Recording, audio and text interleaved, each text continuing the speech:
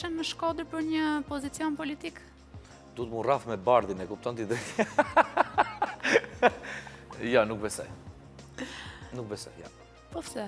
Po se unë tashi, unë me vërte e dua Shkodrën, po... Ndihesh më shumë tiranase? 24 vjet në Tiranë, pa ndërprerje, me vajtje shumë të, shumë sporadike në Shkodër, jo shumë të shpeshta, dhe besoj që gjithë aktivitetin e kam këtu, aktivitet profesional, familjar, familjen e kam këtu.